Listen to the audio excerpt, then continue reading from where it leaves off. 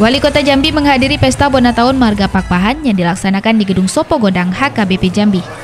Kehadiran Wali Kota Jambi disambut hangat oleh Marga Pakpahan yang tengah merayakan ulang tahun marganya. Dalam kesempatan ini, Wali Kota Jambi mengapresiasi kegiatan Pesta Bona Tahun Marga Pakpahan yang dilaksanakan rutin setiap tahun tersebut. Tak hanya itu, Wali Kota juga menyampaikan ucapan terima kasih kepada Marga Pakpahan yang telah mengundang Pemkot Jambi dalam perayaan Pesta Bona Tahun warga Pakpahan ini.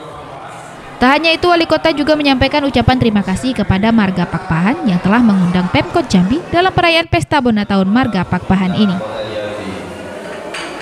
Saya menghadiri undangan Pesta Bona Tahun yang dilaksanakan oleh uh, Punguan Toga Pakpahan, Biri, dan IBBR Sekota Jambi.